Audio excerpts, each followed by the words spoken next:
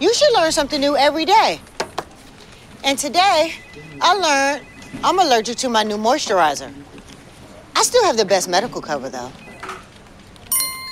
Best medical cover for the price.